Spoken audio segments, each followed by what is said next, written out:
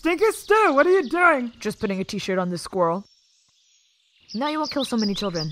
Well, stop, there's an emergency. What's up? My VCR is broken. Stinky Stu and the glittery princess. Stinky, stinky, stinky Stu. And the glittery princess.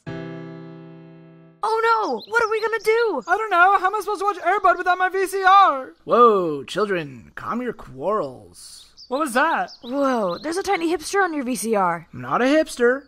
I'm a retro enthusiast. What are you doing on my VCR? In exactly 37 seconds, this VCR is going to be so totally retro.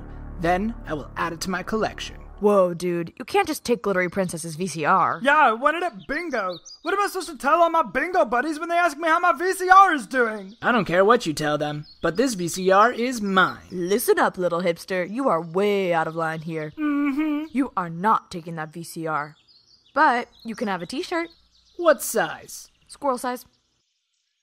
I'm gonna be the prettiest girl at the ball. Thanks, Stinky Stu! No problem, little hipster. My VCR is still broken!